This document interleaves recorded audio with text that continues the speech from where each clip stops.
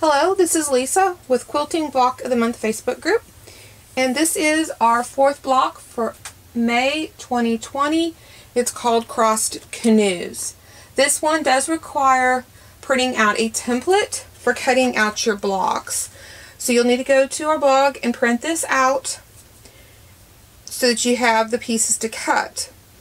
When you get the block pattern printed out, make sure that you do it to not fit to page or scale, you want it to do actual size. And the reason for this is you want to make sure your templates print the correct size.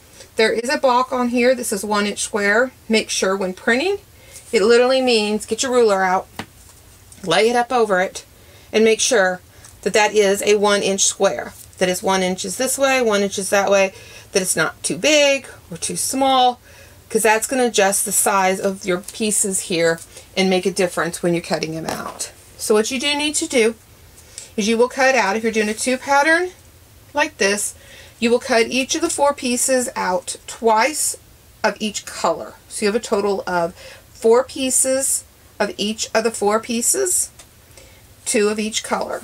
Again, you can do it scrappy, you could do, this is one set of colors and another here, and just however you want to do it.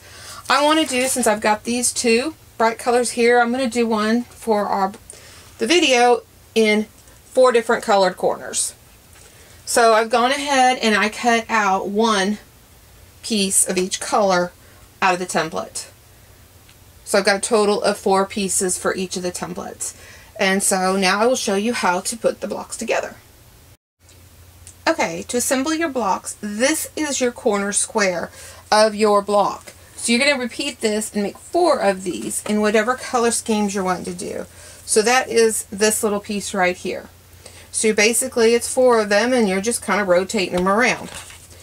So you've got pieces like this. So put the templates off. So we lay our pieces out like this. This just helps you get set up. And then you can just, let's scoot it over here. And like I said, I'm going to do mine a little bit different time. And so there is my block. Once it gets all sewn together. And so see, I've got the opposites here and I've got opposites here. Just gives a little bit different fun. Just make sure when you're laying your pieces out that you don't sit there and go, okay, let's see this one and this one and that. And see how it doesn't make into a square. Because these two pieces are backwards. So you want all three of your points, smaller points, together. And then that'll go at the top. So that'll make you into your squares.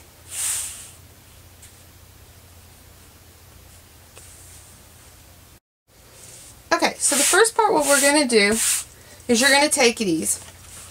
You are going to fold this corner over, lining it up, and you're going to just sew a quarter inch seam allowance all the way down. Then you are going to press it open. And I would press it towards this color, this piece here, just to reduce all that bulk in the middle. Then you're going to fold this piece over. And you're going to do the same thing. You're going to stitch a quarter of inch seam allowance there. And then you're going to press it open. And again, press it towards the pink, or the outside color. And then after that, once those are all attached, then this will just line up here perfect. Stitch it and fold it out. I'll show you each of these steps as we go along. Okay, after you've sewn your quarter of an inch seam allowance here, go ahead and fold this over and press. Again, you're pressing outward away from your centerpiece just to reduce the bulk down here in the corner. So as you can see, I've pressed towards the pink. So then the next step you're going to do is you're going to take the other piece, you're going to roll it up and match it up, and you're going to sew your quarter of an inch seam allowance going up as well. Got the purple one here done, where I've got this, the seam allowance in there. Again, press it out, press it towards these outer blocks away from the center, as you can see. Again, to reduce this bulk, because it would get very bulky if you tried to do it down there. Then you're going to take this, your triangle piece here, you're going to lay it up there, match it up on your two sides, and then you're going to stitch a quarter of an inch seam allowance across there, and then you are going to press it open. So this one here, I've got my quarter of an inch seam, seam there. I'm going to go ahead and fold it up and press it.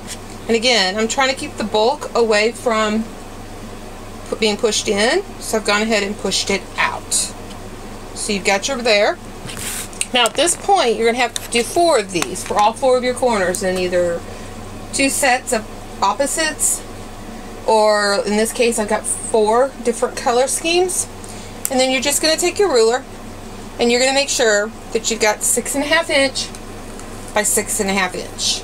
It needs, they all need to be six and a half each. If you need to trim off, don't just trim off, okay, I'm going to do over here and trim this side. You need to do it centered, some off this side and this, some here and here, just to keep your blocks centered so that this is completely in the center. Then you will finish all four of those blocks. And then I'll show you here in a minute how to assemble those.